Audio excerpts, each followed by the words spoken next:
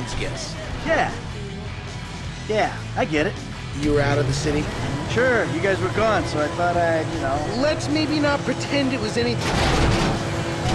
It was anything to do with us. Those beast Hispanic dudes with automatic weapons and blacked out windows. It kind of made me think it was an involuntary exodus. Yeah. Okay. That'll work. Oh, you fuckhead!